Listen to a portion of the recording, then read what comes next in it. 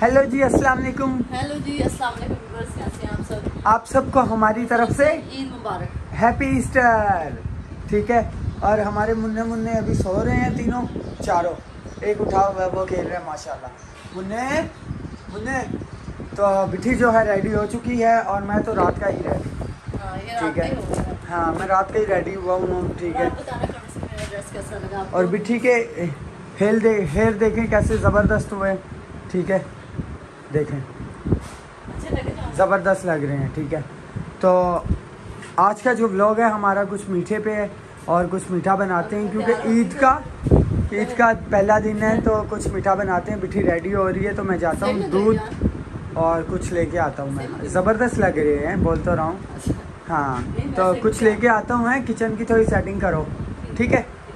चलें जी हम लोग आ गए किचन में और अब हम बनाएँगे कुछ मीठा। मीठा। ठीक है? तो मैंने दूध रख दिया ऊपर। दूध रख दिया बिठी ने उबालने के लिए और हम बना रहे हैं लजीजा की।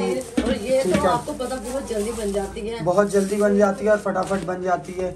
और बिठी को जहाँ से बिठी ने मॉर्निंग कराई उन्होंने बोला तीन दिन किचन में नहीं जाना। तो लेकिन फिर भी बिठी लेकिन काम तो करना है ईद है ना तो जहरी बात है कुछ ना कुछ मीठा बनाना मीठा बनाना है। ठीक है। तो चलो अभी बनाते हैं बने रहे जा रही हूँ। हाँ अभी जाके वो ठीक उनको बच्चों को तैयार करते हैं। क्यों बिठी जी हाँ अभी बच्चों को उठाती हूँ ना। तो चलें जी एक काका तो यहाँ पे रेडी हो गया है। माशाल्लाह। क्या बातें हो गई थी काका? मम्मा की तरफ़ देख रहा है। अभी मम्मा की तरफ़ देख रहे है।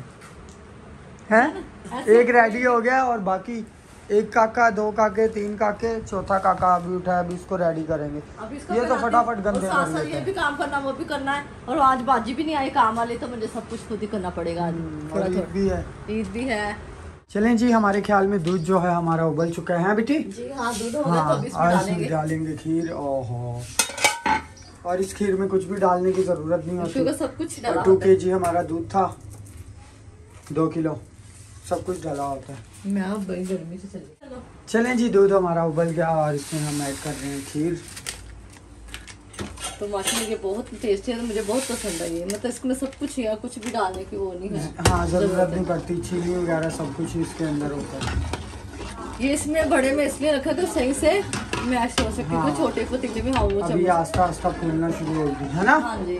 तो तो बाकी जाएगी- जो है वो रेडी हो चुकी है और नेहा रेडी हुई है बाकी बच्चे उठते हैं जैसे जैसे। और मैंने चर्च से जाना है चर्च से आके तो फिर मैं कुछ करती हूँ। चर्च से लगा हुआ चर्च हमारा खत्म होने वाला होगा लेकिन मैं अभी देखो घर के काम में मसरूफ हूँ। हाँ जी। हाँ जी तो खीर बन चुकी है और हमने बोल में डाल दी है। अब इसको हम करते हैं ठंडा फिर थोड़ी बहुत भेजेंगे आस पड़ोस हैं? हाँ हाँ जी। इसको रखते हैं फ्रिज में। देखो बहुत बहुत अच्छी बनी है। बहुत ही अच्छी और ज़बरदस्त बनी है। क्योंकि कुछ लोगों को बनाते हैं मुझे वैसे पसंद है जहाँ वैसे दूध माशा बहुत लेके आता है। इसलिए वो कई लोग पतली सी होती है ना वो नहीं खाई जाती। हाँ, हाँ तो है हाँ। जी। तो चलो खीर बन गई आगे देखते हैं क्या करना है। तो चलें जी अम्मी से भी मिले। अम्मी ईद मुबारक।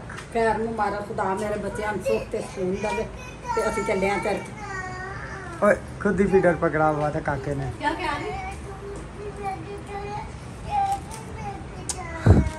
पे?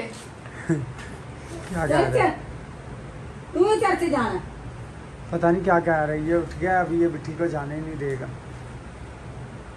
चले जी अंजलि रेडी हो रही है और ये बंदा उठते ही अपना इसने मुँह खोला और शुरू हो गया। बड़ा प्यार किया बहुत लाडी की मैंने के मत रहो लेकिन ये बंदा चुप होने का नाम नहीं ले रहा। चलें जी हमारी प्यारी मुन्नी जोया रानी भी जो है रेडी हो चुकी है देखे। अरे वाह अच्छे लग रहे थे। हाय करो। हाय कर दो। टेबल पे खड़ा किया हुआ मैं बिल्कुल पास ही खड़ा हूँ कि गिर नहीं जाए। क्या बातें हो गई? हाँ छोटी आँखों वाले काके।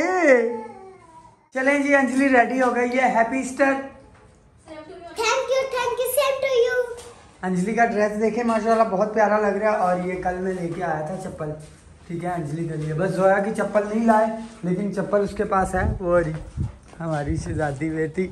अय घूम रही है चूड़ियाँ बुड़िया पहन के। आए आज तो बड़ा तैयार हुआ हुआ है काका।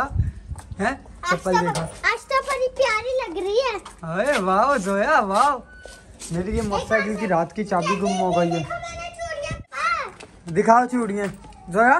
तो गाइस जोया कह रहे देखो मैंने चूड़ियाँ पहनी एक हाथ पे ब्लू पहनी है चमकीली वाली ब्लू और एक हाथ पे रंग बिरंगी पहनी। बस ये भी रेडी हो रहा है शुक्र है चुप हो गया शहजादा बेटा।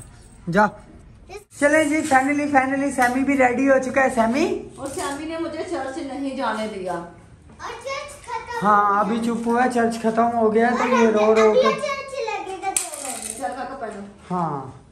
और जोया भी आज माशाल्लाह बहुत खुश है। है काका? काका बड़ा खुश है तू। भाई वो चौधर जमाती है अपनी जोया तो सैम सैंडल पहन रहे मुँह में नहीं डालो। और सैम की शर्ट जो है ना वो काफ़ी ज़्यादा ज़बरदस्त है। है बेटी हाँ। देखो हाय हेलो करो। है हाँ। जाके काका तू कपड़े गंदे कर रहा है उठ के ऊपर बैठ जा आके हैं? तो बिठी यहाँ पे वीडियो कॉल कर रही है पता नहीं किसको। भाभी लोगों को हेलो हैप्पी ईस्टर चर्च गएगा चर्च में है वो गीत चल रहा है। हालेलुया बोलो यीशु क्या मस्ती कर रहे हो? हैं? भाभी चर्च जी एक बात तो क्या? क्या? बोलिए उठाओ मुझे है ना? ये भी अभी जान की चिपक बनती जा रही है। क्या? दो टॉफी दो एक बहन को दे दो एक। एक टॉफी दे दे। पापा ऊँची गाड़ी पे है। एक दे दो टॉफी उसको। देखो मना कर रहा है। एक दे दो। एक दे दो बस। पता नहीं क्या कह रहा है। तो एक चीज़ तो आप भी ठीक है जो बाल हैं आप देख रहे हैं काफ़ी खूबसूरत लग रहे हैं ठीक है? ये देखें, काफ़ी ज़बरदस्त लग रहे हैं। ठीक है, ये कल वीडियो हमने बनाई है, बहुत कम लोगों ने देखी होगी। ठीक है, वो लाजमी जाके देख लें, कल की वीडियो हमारी। ठीक है हेयर ट्रीटमेंट के नाम से वीडियो है। बिठी ने अपना हेयर ट्रीटमेंट करवाया और काफ़ी ज़बरदस्त लग रहे हैं। ठीक है ये पहले के मैविश ने करवाया था तो बिठी को काफ़ी ज़्यादा अच्छे लगे तो इसके साथ कोई शैम्पू वगैरह दिया यूज़ हाँ करने के लिए? शैम्पू बोलती थी वो मन- मुझे मिला नहीं तो वो मैं आपको बता दूँगी वो तीन दिन बाद मतलब के यूज़ करना है। हाँ हर तीन दिन बाद यूज़ करना है तो ऐसे ही रहेंगे अभी? हाँ नहाने के बाद भी ऐसे ही साल- हाँ नहाने के बाद भी ऐसे रहेंगे। हाँ काफ़ी ज़बरदस्त लग रहे हैं और मुझे तो मैं सोच रहा हूँ मैं भी ये करा लूँ। मुझे बहुत पसंद है शुरू से मुझे शौक था। हाँ स्ट्रेट बाल करने का। शुरू से बड़े लंब बाल थे और स्ट्रेट भी थे पापा ने जब से छोटे खुलवाया घुंघरे हो गए। घुंघरेले मेरे पैसे मतलब कितने वो उनके क्या हो गया? उसकी टॉफी पे पैर रख दिया हाथ पे। नहीं नहीं कुछ नहीं नहीं कुछ नहीं हुआ कुछ नहीं हुआ, ये। पहली ना ना सैम। तो बिठी अपने बालों को देख के खुश हुई जा रही है। नहीं खुश नहीं हो रही वो बोलती सी कि बालों नहीं खुश नहीं हो रही। नहीं हो रही खुश क्यों? खुश होना चाहिए। लेकिन उसने बोला कि बालों को कमी करते रहना क्योंकि गर्मी है ना तो बाल फिर उलझ जाते हैं। हाँ। तो जो ठीक है तो हम हम जो है ना हम अभी जाएँगे डिनर पे हाँ, लंच पे फैमिली के साथ ठीक है?